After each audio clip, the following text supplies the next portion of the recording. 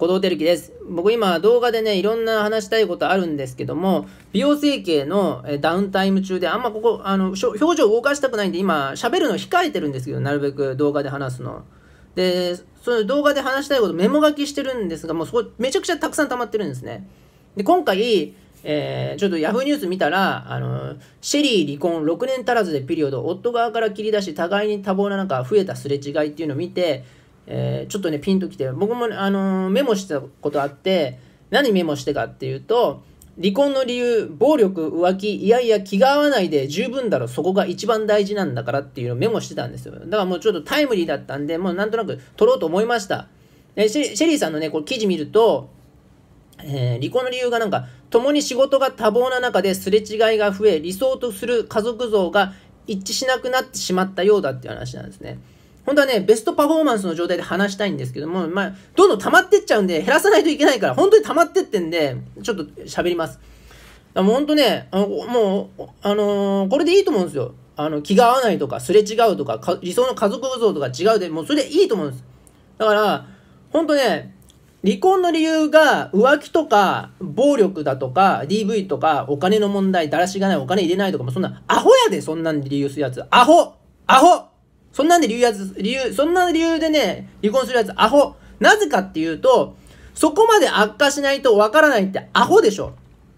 そこまでね、おえ夫もしくはパートナーからね、暴力されされる、DV される、えー浮気される、えーお金だらしない、お金入れないまで悪化させないと分かんないってアホやろ。その手前の段階で、あ、この人だ、無理だなと思ったら別れればいいじゃんか。アホか、アホか世間体気にして、えーえー DV だとか、えー浮気だとか、お金だとか、そういった大義名分がないと、世間的にして離婚できないっていう育児なしだろ。まだ、だからアホなんだよ。だから、そこまでいかないと離婚できないっていうのは。だからもしね、だからシェリーさんがね、もう偉いっていうのはね、なんかその、夫にこんなこと、ひどいことされましたとかじゃなくて、いろいろね、考えた結果、ちょっと、えー方向性が違う、家族のあり方が違う、えーすれ違うっていうので、ちょっとやめましょうっていう、偉いことだと思うよ。だって、シェリーさんね、えー長女もいるし、次女もね、誕生してるわけですよ。えーで、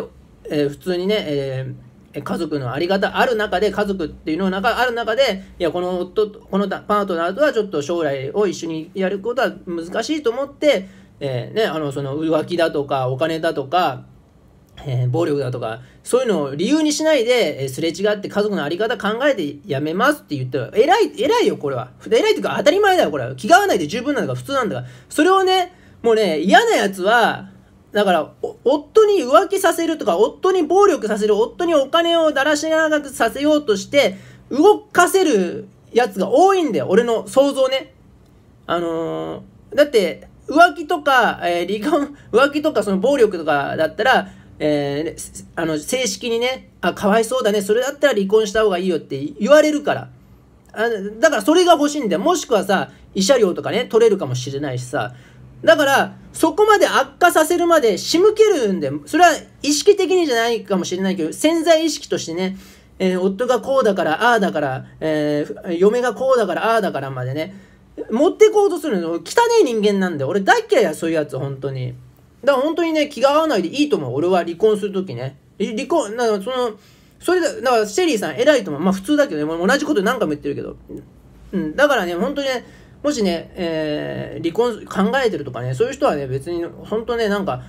そういうね、なんか、悪化させないでほしい。そこまでお金がどうたらとか、えー暴力がどうたらとか、浮気がどうたらでも、そんなんで離婚するの当たり前じゃんか。そこまで悪化させるの、アホだから悪化させんだよ。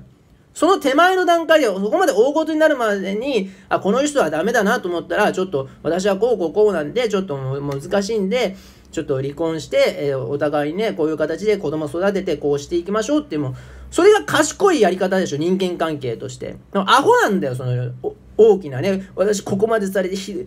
ひどい、ちょっと、ちょっとかまってちゃんいるじゃんか、ここまでされてこうです。あ、それだったら離婚してもしょうがないねってとこまでやるまでアホなんだよ、みんなもそんな。っていう話です。それをね、もうもっとベストパフォーマンスの時にね、言いたかったんで、あ、ここ動いちゃうから、本当にね、こんなあんま喋りたくないんだけども、ちょっとどんどん溜まってっちゃうんで、俺のメモが。動画メモが。ツイッターメモとか動画メモがどんどん溜まってっちゃうの。ツイッターメモはいいんだけどさ。ということで、以上、後藤照樹でした。お前ら、愛してるぜ。